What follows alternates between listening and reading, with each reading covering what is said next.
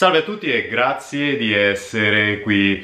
Spero davvero tanto che questo video non venga caricato con una risoluzione che ricorda tanto i primi anni 2000 come è successo inspiegabilmente per lo scorso, anche perché vorrei parlare di un argomento abbastanza delicato. Infatti oggi parliamo di agonismo e bodybuilding, infatti sulle gare di bodybuilding girano ancora tanti miti, leggende, le persone che gareggiano, che hanno gareggiato, spesso si sentono un po' come Dio in terra, quando invece l'agonismo, le gare, le competizioni sono soltanto la ciliegina sulla torta, che se messa in cima da, eh, arricchisce il, il tutto, ma la sola ciliegina senza la torta sotto, eh, eh beh, ehm, direi che non fa lo stesso effetto. Quando potrò gareggiare?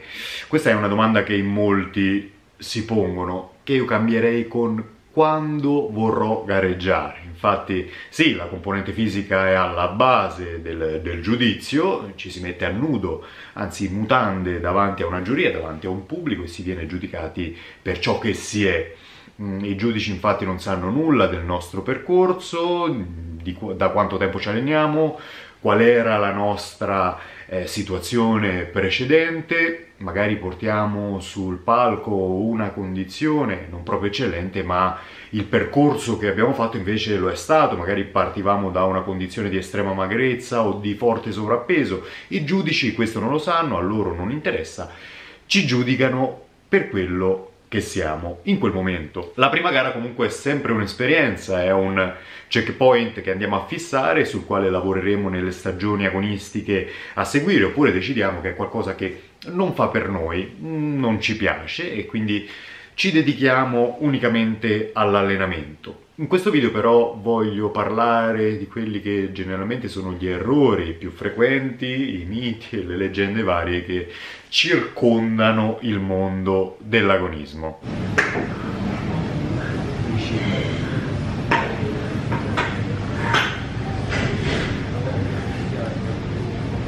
Ok?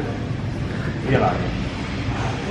Fatti vedere logicamente si tratta del mio punto di vista, di conseguenza prendete tutto con le pinze. Vorrei farvi soltanto riflettere su alcuni punti ed il primo è sicuramente la durata di una preparazione. Direi che i canonici due o tre mesi spesso non sono sufficienti per raggiungere una giusta condizione, una condizione che da natural spesso richiede diversi sacrifici, anche e soprattutto a livello della massa muscolare. Infatti in un percorso di dimagrimento si perde veramente tanto eh, si diventa un po' secchi, tra virgolette, no? come vengono additati coloro che davvero affrontano un percorso di definizione improntato al raggiungimento della massima condizione. Però generalmente sono quei secchi che si portano a casa il, il primo premio, quanto una, una condizione molto spinta è generalmente ben vista nelle gare natural è un po' un controsenso, lo so, io stesso preferisco dei ventri più pieni, più rotondità e meno striature e vene, però i criteri di valutazione spesso mm, non mi danno ragione, non danno ragione a questa visione delle cose. Poi contate che ogni dettaglio viene esaltato fortemente dalle luci del palco, dal colorante, dall'olio, quindi per raggiungere un tale livello di dettaglio spesso ci vuole veramente tanto tempo. Il mio consiglio è, soprattutto in relazione alla prima competizione, di prendersela veramente con calma. Qui in video state vedendo due ragazzi che faranno a breve la loro prima esperienza agonistica che sono a dieta da un po'. Infatti anche io in tutte le esperienze passate non ho mai affrontato una una preparazione di durata inferiore ai 6 mesi, quindi dalle 20 alle 24-25 settimane circa.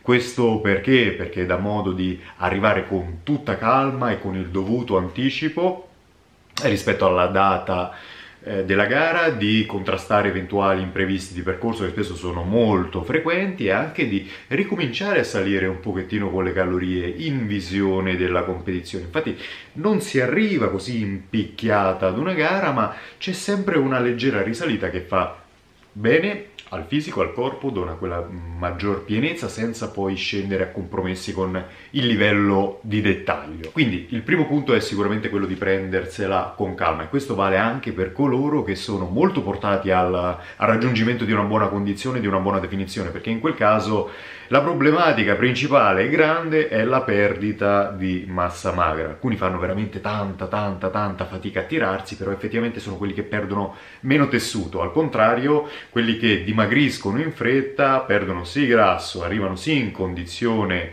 con eh, molto anticipo, ma sono anche soggetti a perdere veramente tanti muscoli nel processo. Quindi in quei casi va trattato con la dovuta calma il soggetto e il suo percorso. E sempre in relazione alla gestione del deficit calorico, la grande problematica che spinge tanti atleti a strafogarsi come non ci fosse un domani dopo una competizione è proprio l'errata concezione della dieta pre-gara. Quindi riso e merluzzo per settimane, quando va bene, quando va male soltanto merluzzo, eh, allenamenti fortemente metabolici, cardio mattina e sera, zero carboidrati e così via. E se la gestione del cardio e degli allenamenti la vedremo, la vedremo poi, quella della dieta invece la affronteremo in questo punto. Una dieta che porta a una competizione deve essere quanto più sostenibile possibile, soprattutto in concomitanza di un forte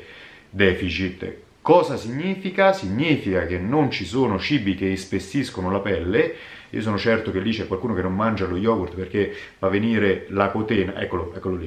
La dieta deve essere sopportabile soprattutto se si parla di preparazioni lunghe, quindi non mi starei a preoccupare troppo della scelta degli alimenti purché siano fonti qualitative, perché l'Ifi Fit Your Macros ha torte e gelati non è nient'altro che un ulteriore estremismo che si contrappone alle diete ketogeniche e zero carboidrati, quindi fonti qualitative ma una gestione flessibile dei pasti, molto flessibile soprattutto in relazione a quello che è il proprio stile di vita, la propria attività lavorativa, non ci si deve obliterare per una competizione, non si deve rinunciare a uscire per 10 settimane soltanto perché si ha paura di mangiare qualcosa di diverso. Ragazzi, anche in un ristorante, in un pub, basta chiedere, ci si può sempre organizzare per mangiare qualcosina di pulito e per non diventare eremiti della montagna. E il grande paradosso è che chi promuove queste diete da bro, come si sente spesso dire, quindi riso, broccoli, pollo, merluzzo, spesso non ha la minima idea di quante calorie assume giornalmente. Il terzo punto è legato all'allenamento.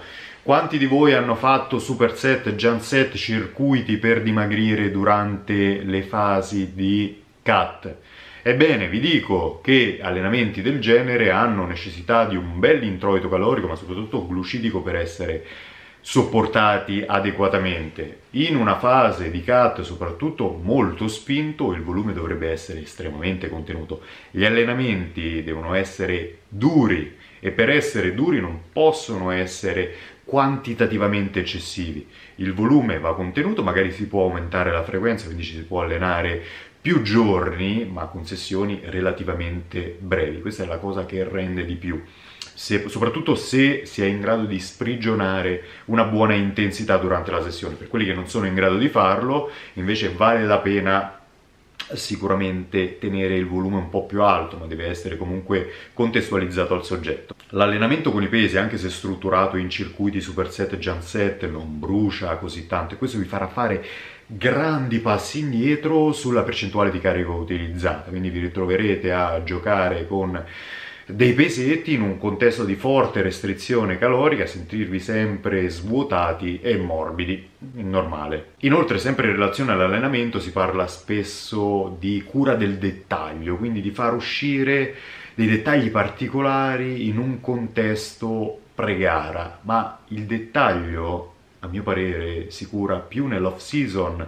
che nel pre-contest Curare il dettaglio significa sviluppare adeguatamente la muscolatura. Per far emergere invece la fibra vera, eh, per mh, mm, far vedere il dettaglio su base muscolare si deve fare la dieta, né più nemmeno. Importantissimi anche gli esercizi di base in questo contesto, magari si può giocare un po' con l'intensità, con il volume, in quanto nelle fasi avanzate di una preparazione si diventa molto fragili, eh, si è più esposti all'infortunio, ma sono esercizi importanti per quale motivo? Perché permettono di gestire grandi carichi e di stimolare anche più masse muscolari con un solo movimento.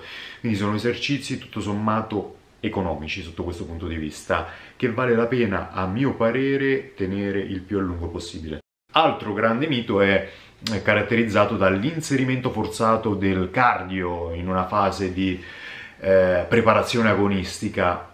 Io non sono contro il cardio, assolutamente, io credo che sia una discreta risorsa, ma va sempre contestualizzato. Quando si parla di raggiungimento di una certa definizione muscolare, in ballo c'è un bilancio, quindi ci sono le entrate energetiche, quelle costituite dal cibo assunto con la, la dieta, e poi ci sono le uscite, quindi c'è il NIT, c'è mm, le spese energetiche che abbiamo durante l'allenamento con i pesi, c'è il metabolismo basale, ci sono diverse, diverse fonti di output. Il cardio cosa permette di fare? Permette di aumentare questo output senza dover tagliare necessariamente dalla dieta. Quindi in un contesto di restrizione inserire il cardio può essere di aiuto per il mantenimento del livello calorico, ma non deve essere visto come una fonte di accelerazione a ogni costo del raggiungimento della condizione. Infatti spesso viene inserito in quelle preparazioni brevi, nei classici tre mesi, per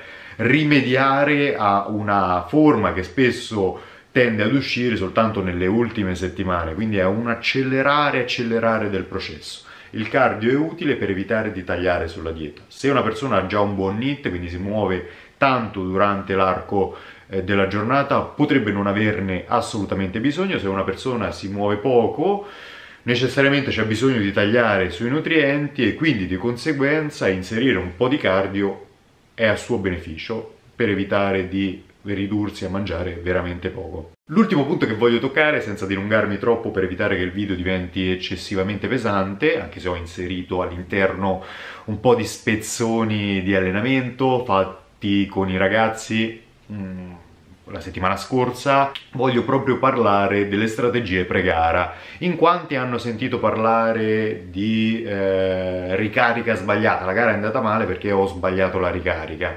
oppure di quelle strategie che vedono protagonisti sodio, potassio, liquidi, se ne sentono tante, insomma, se ne sentono veramente tante. Giocare con i carboidrati, con il sale, con l'acqua è un modo per mandare um, a quel paese tanti mesi, tanti mesi di sforzi, perché si gioca con l'acqua, con il sale, si fanno forti ricariche di carboidrati si fa perché si cerca di ottenere un ulteriore vantaggio nella condizione, rischiando di rovinarla del tutto, oppure per rimediare a una condizione non ottimale.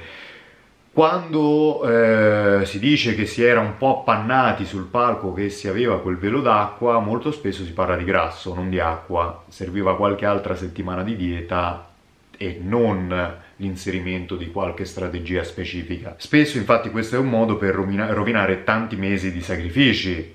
Il corpo non si sa come può reagire, soprattutto in condizioni di forte stress e io direi perché farlo, perché tentare, se le cose vanno bene, se si arriva con due o tre settimane di anticipo rispetto alla data della gara, essenzialmente non bisogna fare altro che aspettare e monitorare la condizione. L'inserimento di queste strategie di scarico di liquidi, inserimento di carboidrati, spesso porta a una rovinosa condizione sul palco. È una cosa che andrebbe assolutamente evitata. Cosa che tra l'altro ho provato sulla mia pelle, la prima preparazione è andata bene o male così, quindi per eh, due mesi carboidrati ai minimi storici e poi gli ultimi tre giorni classici, via su con i carboidrati fino ad arrivare sul palco con l'avanza.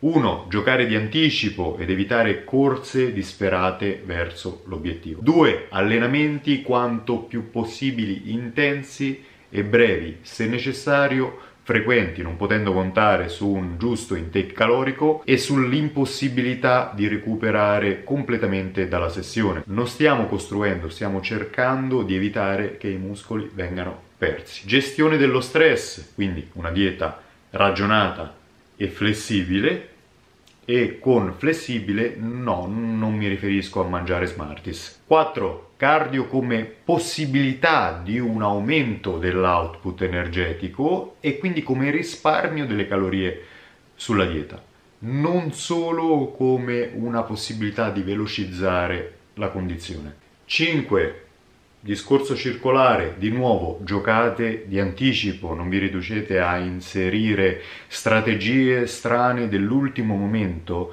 perché non funzionano o se funzionano sono comunque un azzardo. Se avete lavorato duro per mesi e mesi e mesi, perché ridurre tutto, affidare tutto il vostro lavoro a una strategia dall'ultimo minuto? Io l'ho già fatto e me ne pento. Ragazzi, spero che il video sia stato di vostro gradimento.